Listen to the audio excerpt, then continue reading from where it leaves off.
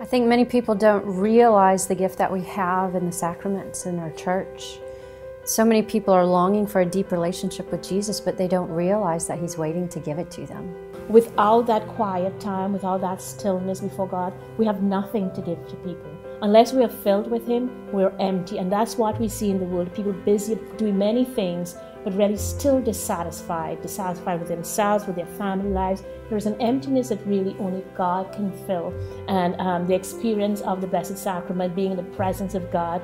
And, and He desires this intimacy with, with each person, not just with religious or Correct. with priests.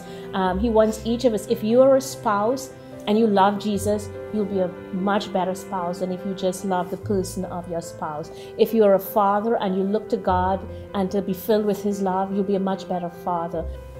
You cannot give what you don't have. So you have to be filled with God to be able to give Him. And that's what we hope to share with the parishioners at Sacred Heart.